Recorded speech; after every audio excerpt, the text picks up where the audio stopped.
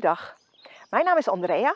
Ik werk zo'n 20 jaar met geneeskrachtige planten en ik heb onder andere een driejarige opleiding kruidengeneeskunde gevolgd. Ik ben op vakantie en ik fietste langs deze struik, de jeneverbes. Het is een zeldzame struik en dat is zo jammer, want hij heeft zulke waardevolle eigenschappen. En daarom heb ik besloten dit filmpje op te nemen.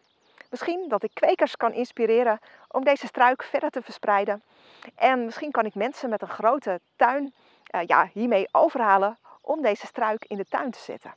Je hebt wel een grote tuin nodig, want ten eerste kan deze struik uh, ja, nog veel groter worden als die hier achter me. Ten tweede, ja, uh, prikkelt hij, dus je kunt er niet vlak langs lopen. En ten derde heb je minimaal twee van deze struiken nodig, een mannetje en een vrouwtje, want anders krijg je geen vruchtjes. Die vruchtjes worden officieel kegeltjes genoemd, maar in de volksmond noemen we het jeneverbessen. Nou, ondanks dat deze struik in Nederland bijna uitgestorven is, uh, worden de bessen gelukkig wel uit het buitenland naar hier geïmporteerd. Jeneverbessen worden onder andere gebruikt bij de bereiding van allerlei gerechten. Bij uh, soepen, stoofschotels, uh, ja, moeilijk verteerbare gerechten, wild en dergelijke. Jeneverbessen hebben de eigenschap om de doorbloeding in het spijsverteringsstelsel te verhogen. En daardoor worden er meer spijsverteringssappen aangemaakt en wordt het voedsel beter verteerd. En van oudsher werd de jeneverbes ook gebruikt bij allerlei klachten aan het spijsverteringsstelsel. Zoals een trage stoelgang, maagzuur, uh, krampen en dergelijke. De kennis over jeneverbessen is al heel oud, al meer dan 2500 jaar oud. Het is onder andere gebruikt in de Griekse geneeskunde en die was er al voordat onze jaartelling begon. Maar ook tijdens de pestperiode in de middeleeuwen is er veel gebruik gemaakt van jeneverbessen. Ze gebruikten het om uh, zich te beschermen tegen de pest. En daarvoor kneusden ze die bessen en deden ze het in alcohol. En die alcohol die dronken ze dan op. Maar dat recept dat bleek zo lekker te zijn dat dat recept steeds van generatie op generatie is doorgegeven. En wij kunnen het tegenwoordig nog steeds kopen. Jenever. Alleen of het nog zo gezond is als vroeger, dat weet ik niet. Want toen werd alcohol ja, traditioneel bereid. En nu wordt het allemaal uh, industrieel bereid. De jeneverbessen bevatten allerlei goede stofjes. Bijvoorbeeld vitamine C, vitamine B12. Maar ook uh, allerlei uh, mineralen, ijzer, calcium, silicium, magnesium. En vroeger werden jeneverbessen wel gezien als een panacee. En een panacee, dat was een benaming voor een, uh, een middel wat een heel breed werkingsveld had. En eigenlijk kun je zeggen dat een panacee doet in jouw lichaam wat er nodig is. In het kort kun je zeggen dat jeneverbessen slijmoplossend werken, doorbloeding verbeterend en uh, vochtafdrijvend. Jeneverbessen die activeren eigenlijk alle organen om harder te werken. Ze sturen er vers zuurstof heen, uh, verse bouwstoffen en zo gaan bijvoorbeeld je nieren harder werken. En daardoor uh, worden ze eigenlijk schoongespoeld. Als er uh, wat gruis in zit, dan kan dat doorgespoeld worden. Maar het heeft ook een desinfecterende werking. En daardoor kun je jeneverbessen ook gebruiken bij een blaasontsteking bijvoorbeeld.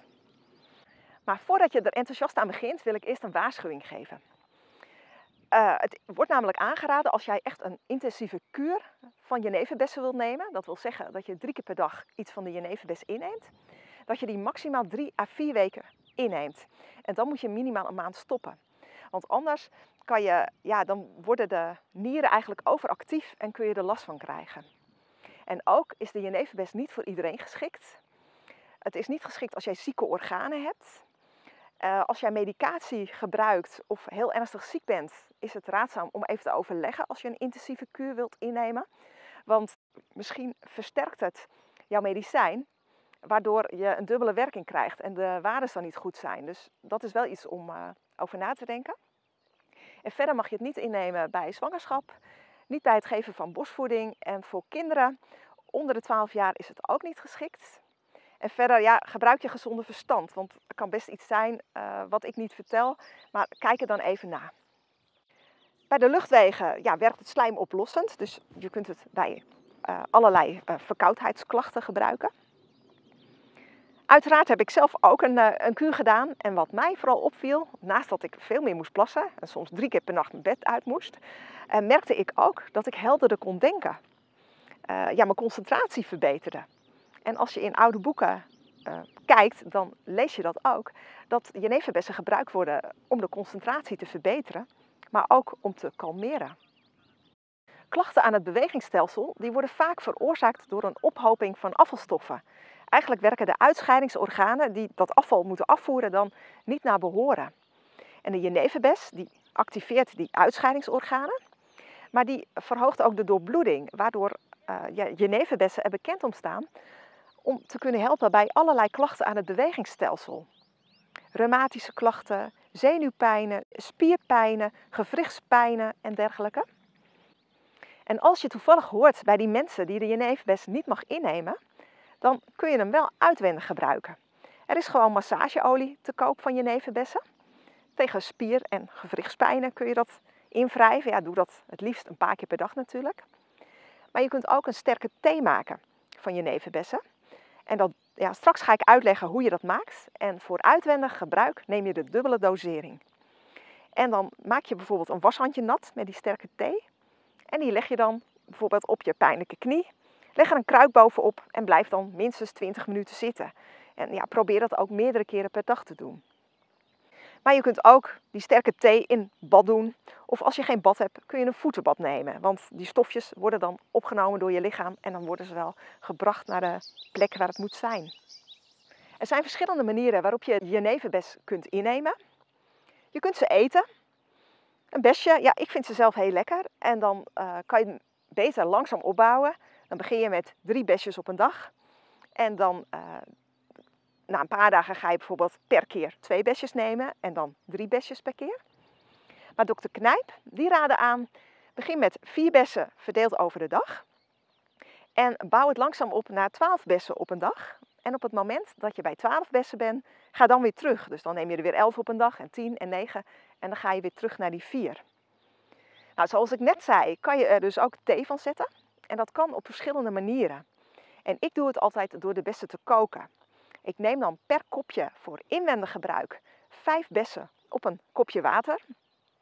Ik maak de thee dan altijd uh, ja, voor meerdere keren. Dus dan neem ik bijvoorbeeld drie kopjes water en 15 bessen. En ik doe er altijd wat extra water bij, want er verdampt ook altijd wat. En ja, anders hou je minder over. Ik uh, doe dat in een pan. Ik uh, breng het aan de kook. Ik laat het ja, 10 minuten koken. Dan draai ik het gas uit dan laat ik het nog 10 minuten staan, dan zeef ik het. Het eerste kopje drink ik altijd warm op. En de rest laat ik gewoon afkoelen. Dat doe ik in een fles en dat, deel, dat drink ik dan verdeeld over de dag op. En uh, eventueel kun je de smaak nog ja, veraangenamen door er een stukje gember bij te doen. Of wat venkelzaadjes, daar kun je ook nog mee experimenteren. Er zijn ook capsules te koop van jeneverbes en tinctuur. Maar die zijn iets duurder. Maar hoe je die moet innemen, dat staat vermeld op het etiket. Er is ook nog etherische olie te koop van jeneverbes. Maar etherische olie is hele sterk geconcentreerde olie. En als je dat op je huid doet, dan kan je zelfs brandwonden krijgen en je mag het ook niet innemen. Ik werk zelf niet met etherische olie, maar al zou je dat zelf wel willen, dan moet je er nog wel wat verder in verdiepen. Uh, vroeger werden jeneverbessen gebruikt als anticonceptiemiddel. Ze hebben alleen niet uitgebreid beschreven hoe ze het gebruikten. En ik heb ook niet gevonden in hoeverre dat werkte, dus ik geef geen garantie. Maar ja, of uh, ze smeren de lichaamsdelen in met een uh, massageolie van jeneverbes. Of de vrouw die stopte gemalen jeneverbessen in haar vagina om ervoor te zorgen dat ze niet zwanger werd. Maar dat weet ik dus verder niet. Maar wie weet kunnen jullie daar wel meer informatie over vinden. En ja, dat hoor ik natuurlijk graag. Nou, er is vast nog veel meer te vertellen over deze struik. Ik uh, zal vast nog een heleboel vergeten zijn. Gelukkig uh, is er op internet heel veel informatie te vinden. Ik heb een uh, website, die heet www.kruidengeheimen.nl. Daar heb ik ook een artikel over de jeneverbes geschreven, maar ook nog over andere geneeskruiden. Ik vind het namelijk zelf heel belangrijk dat deze kennis verder verspreid wordt. Maar ik red dat niet alleen. Dus ik hoop dat jullie mij willen helpen door ook kruiden te gebruiken en je ervaringen weer door te vertellen. Want dan hebben de generaties na ons ook profijt van deze kennis. En je mag hiervoor mijn filmpjes en mijn artikelen uh, gebruiken om te verspreiden. Dankjewel.